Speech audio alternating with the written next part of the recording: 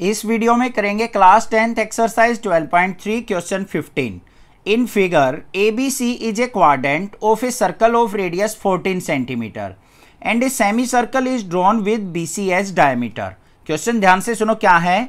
In the given figure A B C is a quadrant A B C क्या दे रखा है हमें? क्वाड्रेंट दे रखा है जो व्हाइट कलर का आपको रीजन दिखाई दे रहा है। उसके अंदर रेडियस जो है सर्कल का वो कितना है? 14 centimetre and a semi circle is drawn with B C as diameter B C को डायमीटर मानते हुए एक सेमी सर्कल ऊपर की तरफ़ बनाया हुआ है। Find the area of the shaded region तो ऊपर वाले सेमी सर्कल के अंदर जो ये ब्लू कलर का रीजन है, ये आपको फाइंड आउट करना है। सबसे पहले ये देखो कि जो हमारा ऊपर सेमी सर्कल बना हुआ है, वो किस पे बना है? बीसी पे। और बीसी की साइड हमें नहीं दे रखी कि बीसी की लेंथ कितनी है। तो सबसे पहले आपको क्या करना है? बीसी डायमीटर को ही फाइंड आउट करना है कि हमारा किस डायमीटर के ऊपर सेमी सर्कल बना हुआ है। उसके लिए क्या करेंगे हम?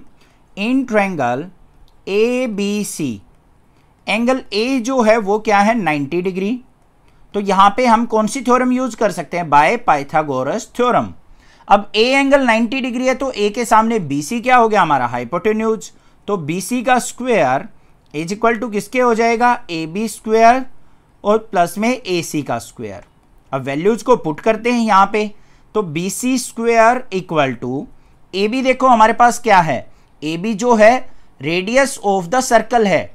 तो यहाँ पे कितनी दे रखी है हमें? 14 वैल्यू दे रखी है इसकी. तो 14 का स्क्वेयर प्लस में ए सी की वैल्यू भी 14 का स्क्वेयर सिंप्लीफाई करो इसको. B C is equal to क्या हो जाएगा? अंडर रूट फोर्टीन का स्क्वेयर क्या हो गया? 196 और प्लस में 196 तो बी सी इक्वल टू क्या आ गया मेरे पास? अंडर रूट 196 मल्टीप्लाई टू लिख सकते हैं हम इसको। क्योंकि 196 और 196 कितने टाइम्स है? टू टाइम्स है। तो बी सी इक्वल टू क्या आ गया यहाँ पे? इसका हम 196 का रूट करेंगे तो बाहर क्या आएगा? 14 और अंडर रूट टू रह जाएगा। तो मेरे पास बी सी की वैल्यू आ गई 14 रूट टू सेंटीमीटर अब हमें क्या लिखना है यहाँ पे? Radius of semi circle radius of semi circle जो हमारा बी सी डायमीटर पे बना है, वो किसके इक्वल हो जाएगा? 14 रूट टू तो हमारी पूरी लेंथ है तो इसका हाफ़ क्या हो जाएगा? 14 root two divide by two मतलब कितना आ गया यहाँ पे? 7 अंडर रूट टू सेंटीमीटर ये आ गया मेरे पास रेडियस ऑफ़ सेमी सर्कल अब बात करते हैं यहाँ पे तीनों एरियाज़ की। तीनों एरिया फाइंड आउट करेंगे, उसके बाद हमारा सेडिड रीजन निकलेगा। पहले निकालेंगे हम area of triangle A B C जो हमारी ट्रैंगल ए बी सी बनी हुई है, उसका एरिया निकाल लो। One by two into base into height. Base क्या है? ए सी इंटू हाइट क्या है? ए बी वैल्यू पुट कर लो। One by two multiply. A C की वैल्यू भी फोर्टीन और ए बी की वैल्यू भी फोर्टीन। टू से कट किया, टू सेवन जा फोर्टीन फोर्टीन सेवन जा क्या आ गया? यहाँ पे नाइन्टी एट सेंटीमीटर स्क्वेयर। इतनी बात समझ में आई। आगे देखो। Area of sector A B D C हम क्या निकालेंगे? यहाँ पे एरिया ऑफ़ सेक्टर निकालेंगे। A B D C D point हम यहाँ पे एज्यूम कर लेते हैं। ये हो गया हमारा डी पॉइंट ठीक है? ए बी डी सी इस सेक्टर का एरिया हम फाइंड आउट करेंगे तो कितना होगा? Theta by 360 multiply pi r square theta की वैल्यू क्या हो गई? 90 बाय 360 मल्टीप्लाई पाई की वैल्यू क्या हो जाएगी? 22 टू बाई सेवन और रेडियस हमारा क्या है यहाँ पे?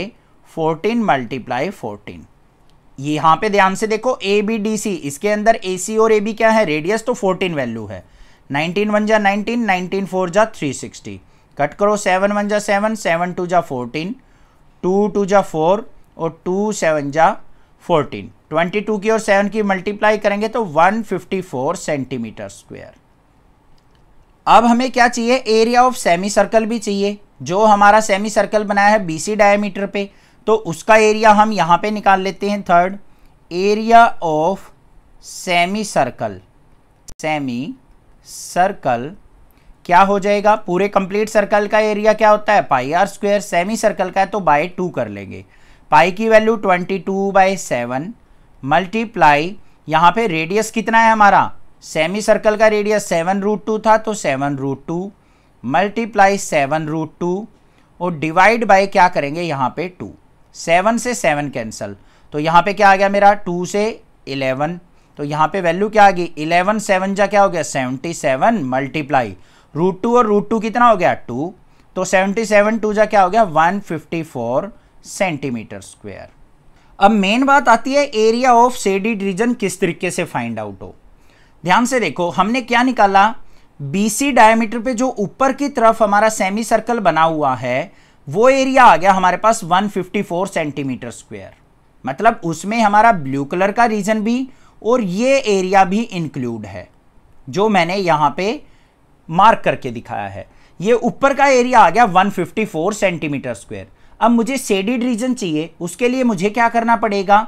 जो ये पूरा का पूरा हमारा सेमी सर्कल का एरिया है, इसके एरिया में से, अगर मैं जो ये ब्लैक कलर से मैंने सेड किया है, इस एरिया को सब्ट्रैक्ट कर दूँ तो एरिया ऑफ़ सेडिड रीजन आ जाएगा मेरे पास। अब ये एरिया कैसे पता चले? बी डी सी का जो ब्लैक कलर से डोटेड दिखाया है, ये कैसे निकले? इसको निकालने के लिए सिंपल सा तरीका है। देखो, हमने अभी अभी निकाला था area of sector A B D C A B D C पूरे सेक्टर का एरिया निकाला था। इसमें से अगर मैं इस ट्रेंगल का एरिया सब्ट्रैक्ट कर दूँ तो जो ये डोटेड लाइन है ब्लैक कलर वाली, ये एरिया बच जाएगा। सबसे पहले हम फाइंड आउट करेंगे बीडीसी का एरिया एरिया ऑफ़ बीडीसी वो कैसे निकलेगा? Area of sector A B D C और माइनस कर दूँ मैं area of triangle A B C निकल जाएगा। एरिया ऑफ़ सेक्टर कितना आया है मेरा? 154 और माइनस कर दूँ एरिया ऑफ़ ट्रेंगल 98 तो 154 में से 98 गया तो मेरा कितना आ गया? यहाँ पे 56 सेंटीमीटर स्क्वायर ये आ गया मेरा जो ब्लैक कलर से मैंने सेड कर रखा है, वो आ गया 56 सेंटीमीटर स्क्वायर अब मुझे क्या चाहिए? Area of shaded region area of shaded region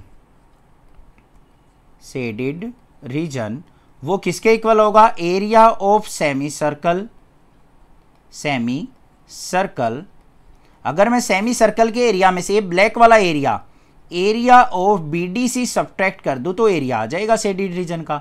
area of semi circle कितना है? 154 माइनस में area of B D C कितना है हमारा?